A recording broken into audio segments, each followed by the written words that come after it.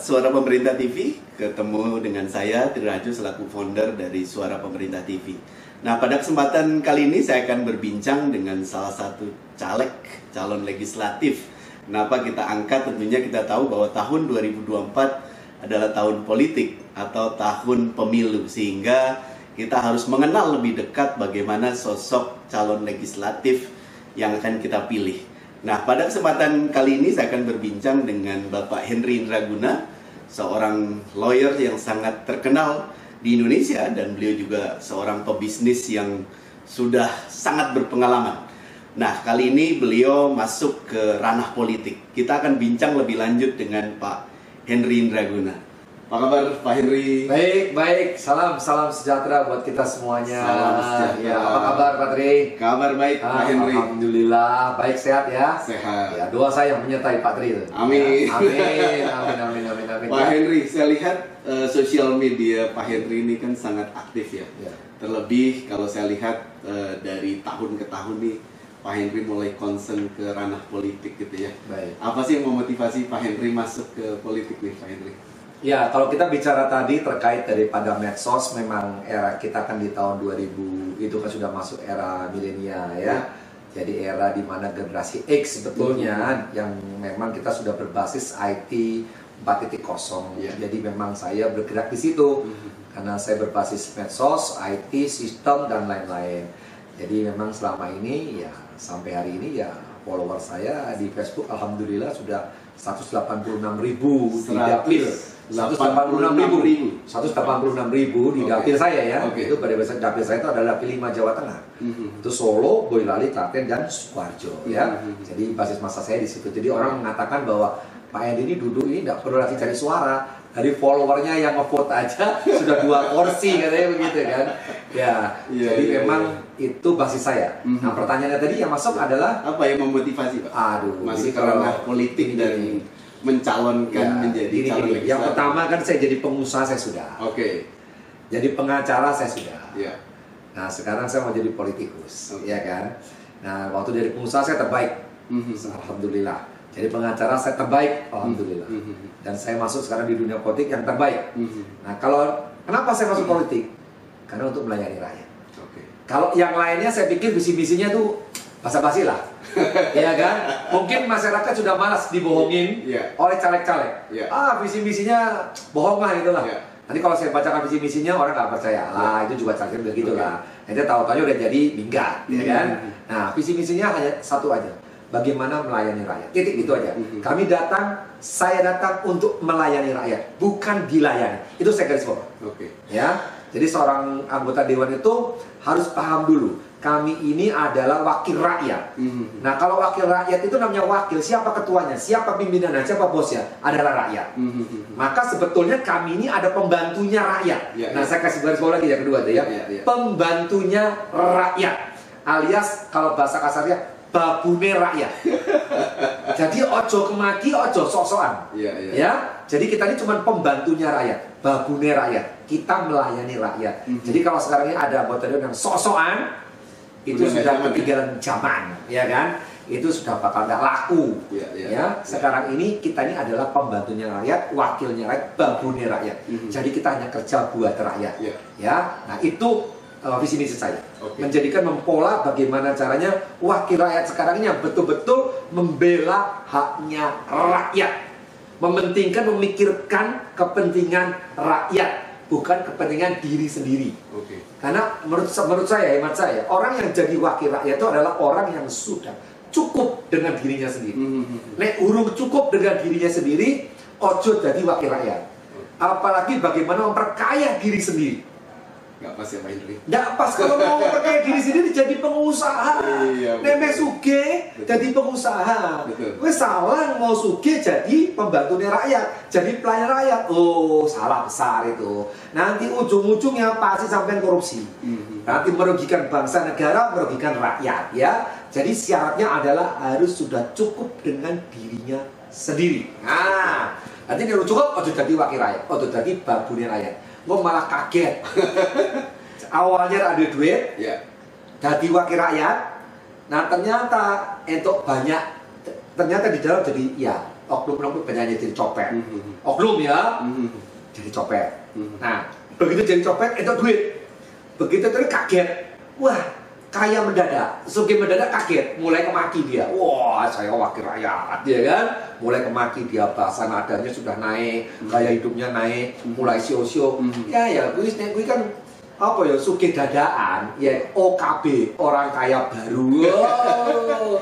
ya kan jadi Papua Babudi rakyat ya wes lah Oke, berarti- yang penting kerja kerja kerja aja buat rakyat Berarti jadi apa wakil rakyat ini betul-betul harus melayani apa kepentingan dari masyarakat Ah. Henry. permasalahannya gini mau jadi wakil rakyat itu harus mengetahui rakyatnya Nah, ini menarik Pak Henry. menarik kan Nah, Pak Henry kan Nah. sempat waktu itu nyalek juga di 2019 gitu ya. Ya. Tentunya sudah sangat memahami apa sih yang diinginkan oleh masyarakat terutama di Dapil 5 Jawa Tengah. Ya. Apa yang Pak Henry Gini, tangkap? gini, gini. Saya 2019 itu lahir secara prematur, Oke. bukan lahir alami. Karena Ya. saya bukan orang politikus. Oke. Saya bukan orang politikus. Mhm. Nah, saya garis bawah tikus, nah, politikus. Ya. Ada politikus, ada politikus. Hati-hati ya. Ya. Kata tikus ini grogoti, ya ya.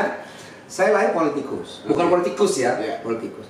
Itu lahir saya tuh prematur, dadaan. Mhm. Ditunjuk langsung DCT, Ya. langsung suruh turun. Oke. Wah, saya bingung nggak ngerti apa-apa. Partai saya bukan partai besar, Ya. ya kan. Akhirnya saya turun menemui rakyat. Pola saya simpel. Mhm. Saya ini adalah wakil rakyat, maka saya harus turun ketemu rakyat.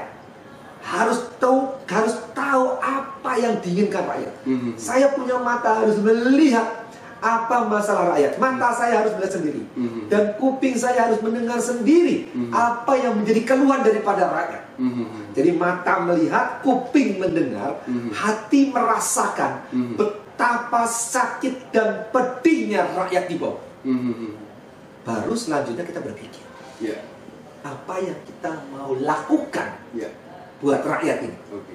ya Ya. jadi jadi wakil rakyat itu harus ketemu rakyat Oke. ojo jadi caleg dadakan karbitan teko-teko dar langsung main sogok amplop tet tet tet tet, kan nyogoi wes ngono wes nyogok kasih gombalmu kio begitu gombalmu kio minggat Iya, iya. wes dipilih minggat ya Iya. ini saya anggap sebagai caleg dadakan caleg karbitan Mhm. tokonya mau limang tahun pisan Ya. teko-teko ngei amplop Ya. ngasih janji gombal Ya. begitu rakyat tertipu daya Mhm. minggat Mhm. limang tahun minggat Mhm. dadi copet Mhm. ya kan teko meneh ngono meneh Mhm. ngei janji ngei amplop Mhm. minggat meneh itu yang kejadian paling banyak kan kayak begitu Mhm. ya saya tidak mau kayak begitu Oke. saya mau merubah konsep ini Mhm. saya betul-betul datang 2019 saya datang Oke. 2020 saya datang Oke. memberikan bantuan covid ya Oke. 2021 saya kerja. Mhm. datang lagi 2022 saya kerja 2023 saya kerja. Mhm. semua itu ada di dalam medsos saya. Mhm. orang bisa melihat rekam jejak saya hari ini. Orang mau tahu saya tinggal ketik Henry Indra Guna udah tahu semua. Dia masuk medsos saya sudah tahu semua kegiatan saya. Ya. karena saya di sini melakukan ini dengan hati. Kenapa dengan hati? Karena saya punya yayasan. Yayasan saya adalah Henry Indraguna Center Haji. Yayasan saya bekerja ini memberikan bantuan kepada orang yang tidak mampu, terutama orang yang sakit. Contohnya nih Mhm. kanker, Ya. ya sudah stadium akhir, Oke. terus kaki palsu, Mhm. jantung bocor, stroke, dan berbagai macam sakit penyakit. Saya datang ke rumahnya memberikan bantuan, motivasi dan doa, semangat buat yang sakit ini. Oke. Begitu saya peluk dia, dia nangis, Pak Endi kok mau datang. Itu rasanya ya, Mhm. lebih dari segala hal yang kita dapatkan dalam dunia. Mhm. Bertemu dengan mereka itu. Mhm. Itu yang saya sentuh kepada mereka. Mhm. Yayasan kami memberikan bantuan-bantuan kepada orang sakit, terus sembako paling banyak. Mhm. Sembako kami sudah puluhan ribu yang kita berikan. Mhm. Dan itu semua ada rekam jejaknya. Mhm. Ya, karena kami punya desa-desa yang kami bina yang kita berikan bantuan ini. Nah, ini terus berjalan sampai hari ini Mhm. beras, gula, terus eh, minyak goreng paling banyak minyak goreng kita berikan ya karena minyak goreng itu harganya Langka naik ya? turun langka Betul. sampai ini juga kayak gitu juga langka Oke. juga ya kita berikan bantuan sekali berikan bantuan 500 sampai 1000 jadi Hmm. sekali datang itu 500 sampai 1000 Mhm. dan itu kalau ditanya di dapil saya Solo, Bulog, dan Sukarjo tidak ada yang nggak tahu semua tahu itu Saya melakukan kegiatan apa? Semua tahu. Ada lagi kemarin yang rumahnya kebakar. Mhm. Habis saya berikan bantuan. Ada lagi yang Pak, saya itu rumah saya naik hujan, saya Ya. turunin tonggo, Ya. naik orang udan, aku turunin rumah. Gondengnya bocor kabel, wah nggak karu-karuan. Iya, saya datang iya, ke sana, saya iya. tengok, saya akan berikan bantuan ini dibangun ya. Dan itu kegiatan cukup masif. Mhm. Ya cukup masif kita lakukan. Ini bergerak atas dasar kemanusiaan. Hmm. Ini bicara yayasan Mhm. yang bekerja.